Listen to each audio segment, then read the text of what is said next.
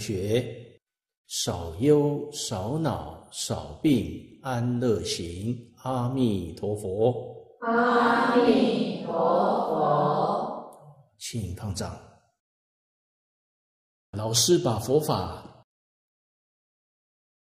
最高的修导啊，修学的指导方针传授给我们了，我们要认真学习。精进努力，好，这就叫受持。换句话说，我们念念都是向觉正境，向着这个方向、这个目标去努力，这就是佛的意思，这才叫做受持三归。所以三归。总而言之，佛是觉而不迷，法是正而不邪，僧是静而不染。佛法所修的就是这个。那我们现在要问了：什么标准才叫做觉？我几时才真正觉悟了呢？所以“觉正境”这三个字要互相解释。什么时候你觉了？什么时候才叫觉？你的心正、心清净，就觉了。那什么时候我心正呢？你心清净，心觉悟了，就正。那什么时候我心清净呢？你觉悟了，你心正了，就清净了。所以觉正净这个是一而三，三而一。也就是说，“觉正境”这三个字，你只要得到一个，其他两个就得到了。觉正境其中一个你真正得到，其他两个你都得到。因此，在修学方法上啊，古大德就不会三个一起修，只修一个。一个成功了，通通成功了，就好像我们这个这个房间，这个讲堂有三个门，有三个门都可以进到这个讲堂，绝正进三个门，无论你从哪一个门进来，都一样，一进来。你就全部都得到了，从一个门进来，你就都得到。所以，在中国大乘八个宗派里面，禅宗、信宗，他是走绝门，他专门修这个，就是大彻大悟、明心见性。宗门是从绝门进来的，教下呢？教下就是除了禅宗之外，通通叫做教下。那么教下偏重在经典的修学，像天台宗、显首宗、三论宗、法相宗，这些都是重视经典。他们呢是从正门。就是用经典来修正错误的知见。那么我们怎么晓得我们的知见、我们的思想有错误呢？那就要拿经典来衡量，拿经典这个标准来衡量。我们的想法、看法跟经上讲的一样。那我们的知见就是正、正确的。如果想法、看法跟经上讲的不一样，那我们一定是错的。根据经典修正过来。所以教下这个绝正进三门，他走正门。绝门呢，要有天赋，也就是我们常讲的上根立志。你是上等的根器，你有敏锐的智慧，你可以修禅宗。那么中下根性的人。禅宗就不容易了，你去参禅，可能一辈子都不容易开悟。所以中下根性没有份。那么教下呢？教下的方法，那就是中下的人都有份了。他就好像是这个爬楼梯一样，爬一级就升一层。但是这个路呢比较长，就像我们过去读书一样，从小学、中学、大学、研究所，这个要比较长的时间。绝门呢快速，所以叫做顿超，是顿门。教下就是渐门，渐渐的往上修。这是剑顿啊两种根基。那么，如果这两个门都入不进去，这个绝门，绝门我们这个程度啊不够，我们都不是上根立志的，程度不够，智慧不够，业障太重。那么走教下呢，时间又太长，我们这个寿命啊太短了。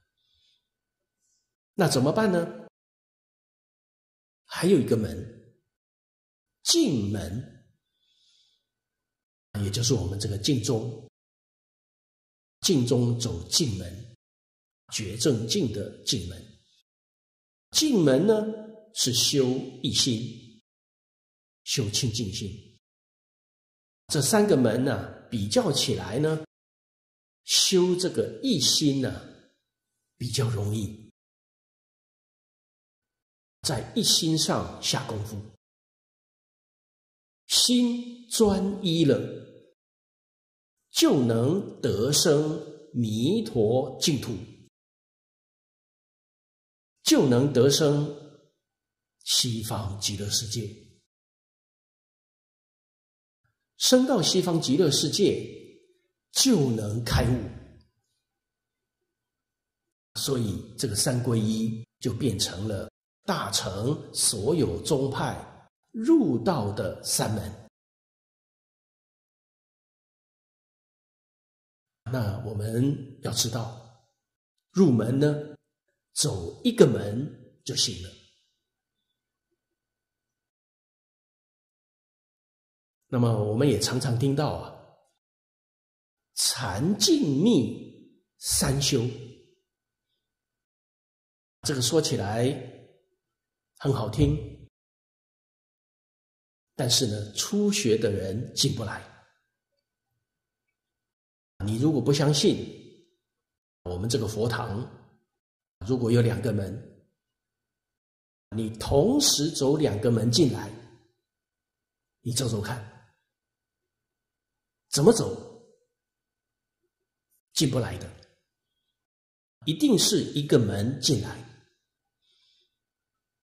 双修到最后还是舍掉一门，从一门进，那么三个一起修到最后舍掉两门，从一门进。他如果不放弃，那他决定进不来，这是一定的道理。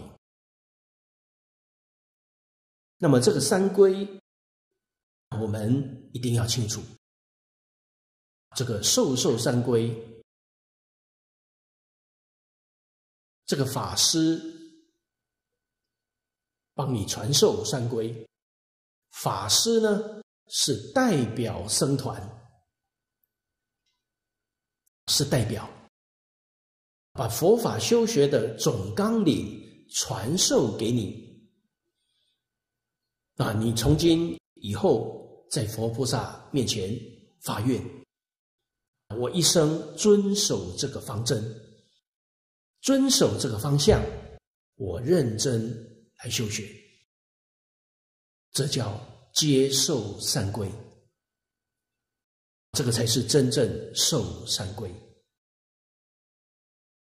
不是说在佛菩萨面前把这个誓词啊念个几遍，啊你就皈依了，不是，啊那是外表形式。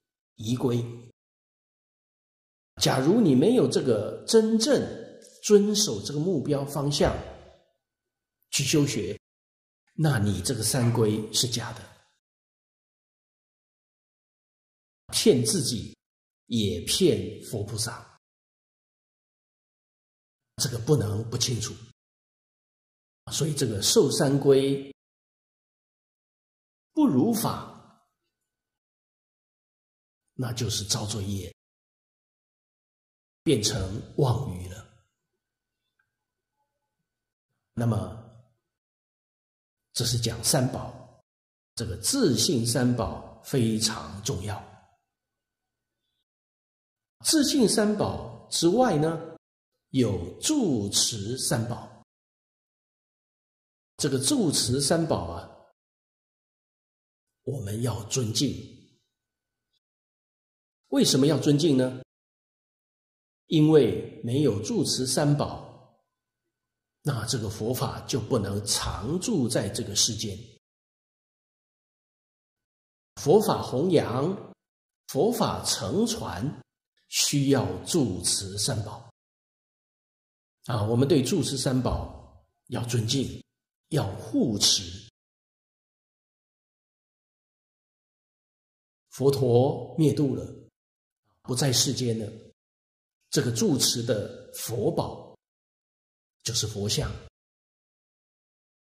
我们见到佛菩萨的形象，都要把它看作真正的佛菩萨，以这样恭敬的心来对他。见到佛像，已经受过三皈的人、三皈依的人，立刻就要联想到。我要皈依觉，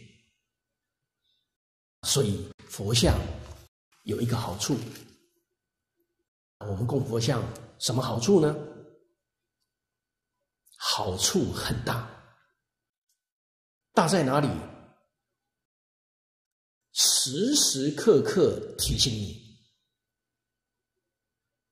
我们如果一见不到佛像，那就忘掉了。就有迷惑颠倒了。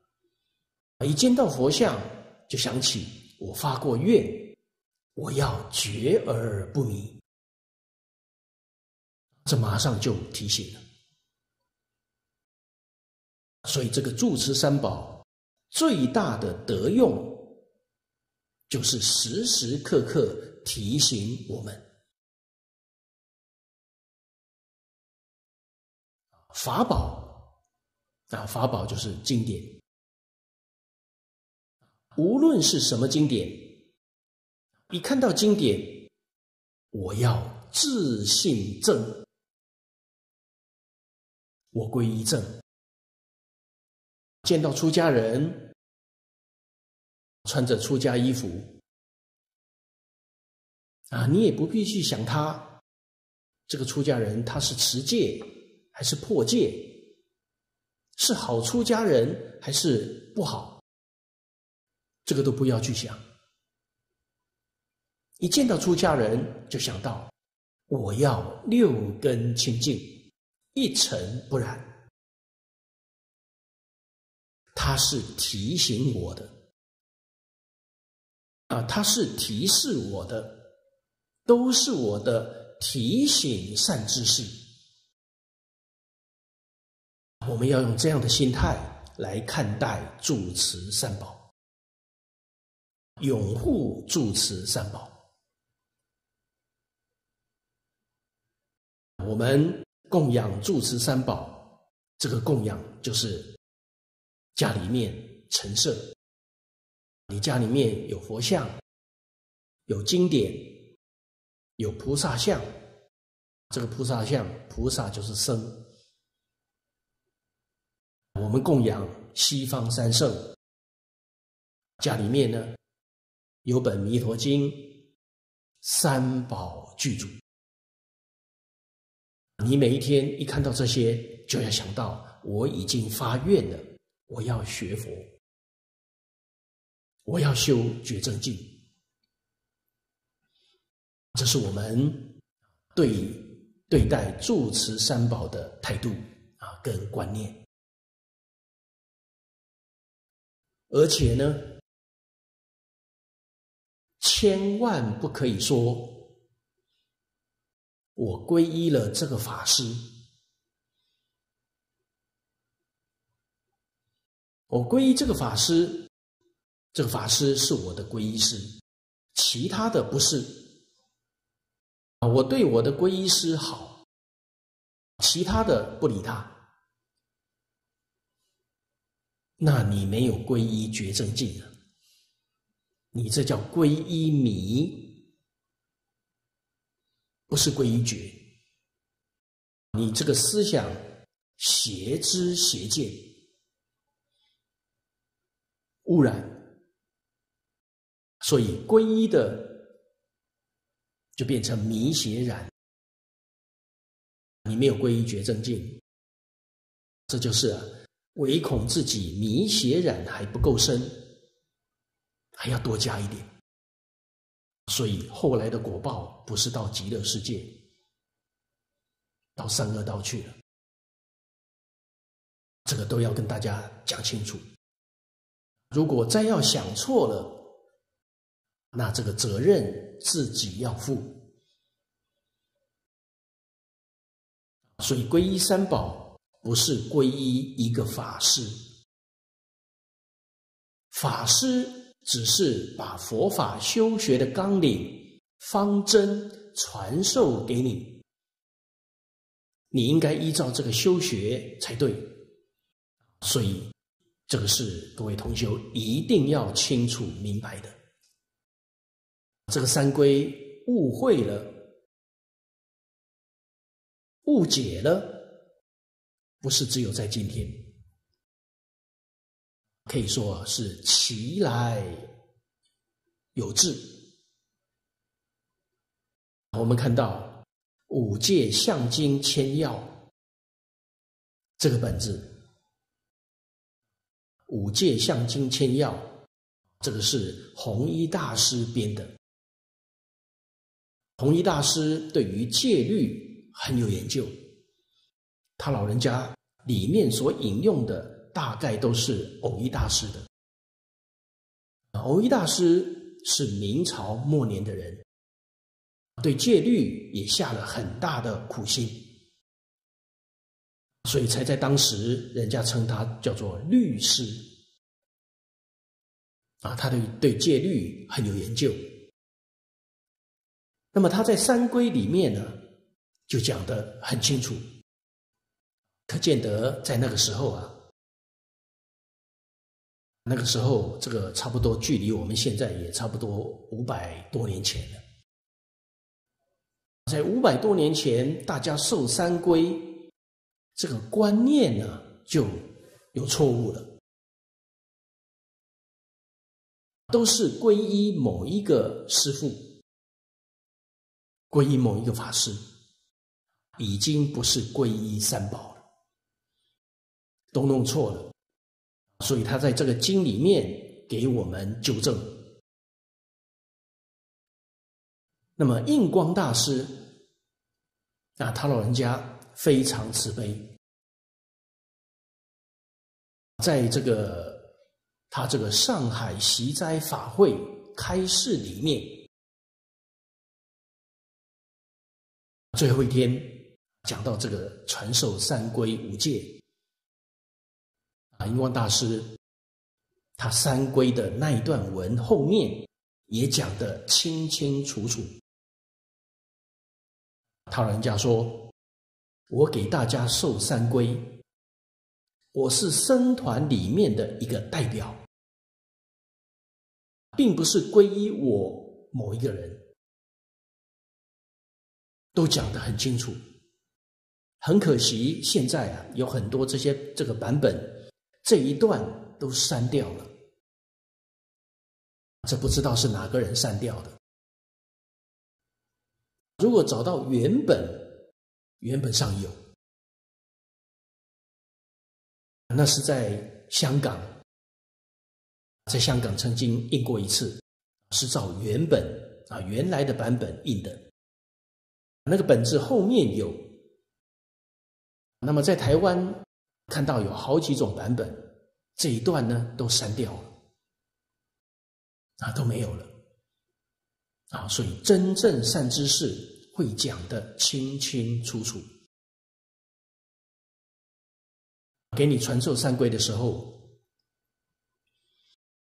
就像这个入党一样，入党，那法师呢，就像是资深的党员，来给你监视的，给你做证明，不是皈依这个党员，皈依这个法师。这一定要明了。如果这个观念错了，这个罪过很大。什么罪过呢？破和合生，破坏僧团，破坏僧团的和谐，这还得了？这个罪过。堕阿鼻地狱，那这是经典讲到这个受持三规，所以特别啊，把这个重要的意思跟大家介绍清楚。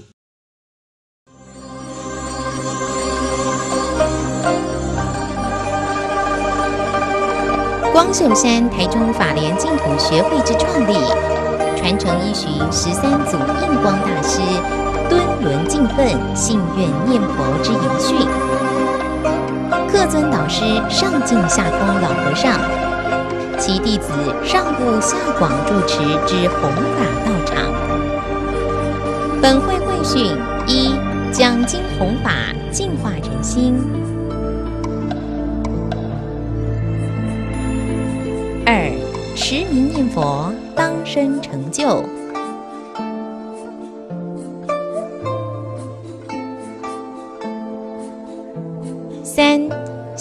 文化慈善佛事，以立道德，而善风俗。古德云：“不忍圣教衰，不忍众生苦”之理念，筹建光寿山法莲佛陀教育学院。光寿山坐落在台中太平悠悠云山中，沉云观音之圣地。愿景续建如佛讲堂、长照中心、有机农场等，引导大家修心养性，内而佛，外而儒之修学方向，引逗善因。未来还有个无有众苦。但受诸恶之圆满归去之敬业养成圣地。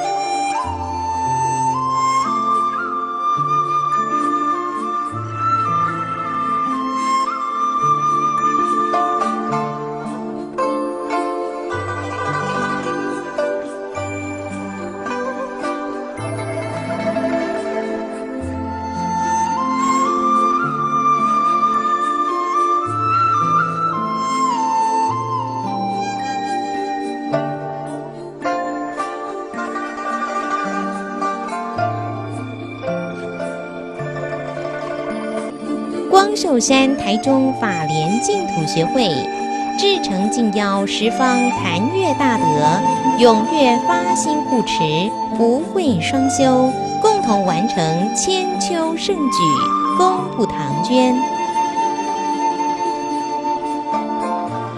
洽询电话：零四二二九一三五六七，护持账号邮政划拨账号二二七零。